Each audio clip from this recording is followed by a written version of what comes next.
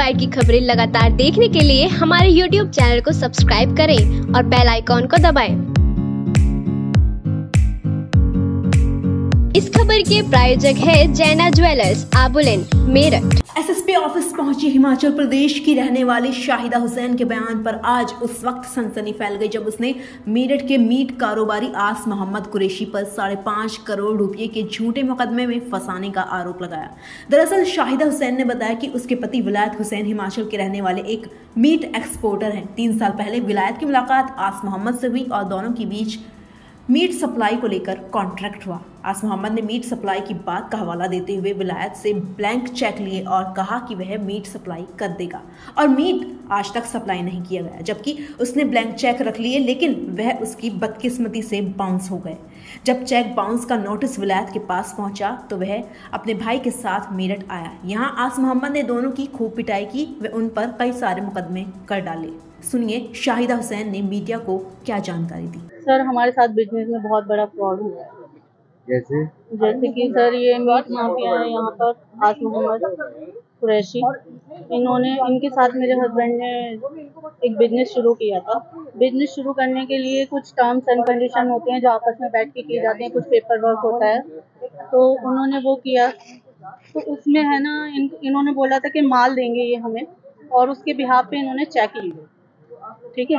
फिर इन्होंने माल नहीं दिया। लेकिन इन्होंने चेक हमारे बाउंस करा उसके बाद जो चेक बाउंस कराया, हमसे बोल रहे हैं कि हमें साढ़े पाँच करोड़ रुपया देना है आप लोगों को। और बिज़नेस हमारे साथ इन्होंने किया ही नहीं। और झूठे केस में हमारे को सात आठ केस में फंसा रखा है। और पिछले दो तीन साल से फ़ोन पे धमकियाँ देते हैं, घर पे आके धमकियाँ देते हैं, मार पिटाई करने की बोल देते हैं, गुंडे तक भेजते हैं मेरे घर पे सर। तो आप क्या कंडीशन है आपकी? सर कंडीशन यही है कि अभी हमारी कोई जाँच नहीं हो पा रही है हम चाहते हैं निष्पक्ष जाँच हो। योगी जी मोदी जी जो भी हैं हमारे को इंसाफ दिलाएँ क्योंकि हम बहुत ज़्यादा पीड़ित हैं फ़ोन कॉल पे प्यार से धमकाते हैं फिर है ना इंडिविजुअली मतलब अटैक करने के तुम्हारे भाइयों को मार दूँगा तुम्हारे हस्बैंड को गोली मार दूँगा तुम्हारे बच्चों को स्कूल से उठा लूँगा इस तरह की धमकियाँ देते हैं। क्या नाम उनके जो धमकी देते हैं? सर आज मोहम्मद है उन्होंने कोई हायर किया हुआ है गुंडा। वो गुंडा धमकियाँ देता है सर। इस दौरान शाहिदा हुसैन की वकील भी एसएसपी ऑफ़िस पहुँची जहाँ उन्होंने मीडिया को यह जानकारी दी। इन्होंने बोला कि अगर तुम यहाँ पैरवी करने आओगी तो अगली बार तुम भी यहाँ कोर्ट पहुँच नहीं पाओगी रास्ते में ही तुमको जान से मार देंगे। मैंने शोर मचा दिया तब बहुत सारे लॉयर इकट्ठा हुए उन्होंने तब इनको पकड़ के पुलिस को सौंपा। पुलिस इनको पकड़ के सिविल लाइन थाना लेकर आई लेकिन वहाँ भी पुलिस वालों ने मुझे ही ये चीज़ कह के डराया कि ये बहुत बड़ा क्रिमिनल है और इसकी यहाँ बहुत अच्छी पैठ है। आप इससे केस लड़ने के लिए भी नहीं आ पाओगी ये आपको बार बार परेशान करेगा। इसलिए आप केस रजिस्टर मत करवाइए। इसलिए फिर मैंने यहाँ पर कंप्लेंट दी भी नहीं कि जब पहले ही पुलिस इतनी बायस्ड है तो मैं कंप्लेंट दे के यहाँ क्या करूँ? अब हालत ये है पीड़ित और अधिवक्ता दोनों ही सास मोहम्मद कुरैशी के डर में है। इस चक्कर में इसके खिलाफ कोई कार्रवाई नहीं हो पा रही है। आज मोहम्मद रहता कहाँ ये लिसाड़ी गेट श्याम नगर का रहने वाला है और अभी इसने एक और फ्रॉड किया हुआ है।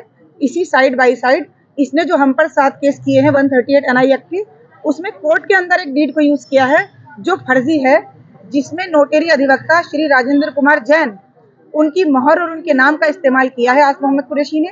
श्री राजेंद्र कुमार जैन जी अपनी एफआईआर करवाने के लिए पिछले पाँच महीने से पुलिस के पास जा रहे हैं। जन सुनवाई पोर्टल पर एप्लीकेशन डाली, समाधान दिवस में कप्तान साहब को एप्लीकेशन दी। उसके बावजूद श्री राजेंद्र कुमार जैन जी की भी एफआईआर नहीं लिखी जा रही है। मेरे कहने का मतलब ये है चाहे राजेंद्र कुमार जैन आस मोहम्मद के खिलाफ कराएँ कोई रिपोर्ट या विलायत हुसैन कराएँ या हम कराएँ राज आस मोहम्मद कुरैशी के खिलाफ कोई रिपोर्ट यहाँ की पुलिस दर्ज नहीं करती है लेकिन आस मोहम्मद कुरैशी जब भी किसी के खिलाफ कोई मुकदमा लिखवाना चाहते हैं वो तुरंत दर्ज हो जाता है। कप्तान साहब का क्या आश्वासन मिला मिले आप कप्तान साहब से जी कप्तान साहब से साढ़े चार महीने से सिर्फ़ आश्वासन ही मिल रहे हैं लेकिन कोई ठोस कार्रवाई नहीं हो रही है। Vardhaman Academy, an English medium co-educational senior secondary school, classes from nursery to 12th. Smart classrooms, Wi-Fi computer lab, advanced maths and science labs, well-stocked library, best environment for games, yoga and music. Vardhaman Academy, Railway Road, Meerut.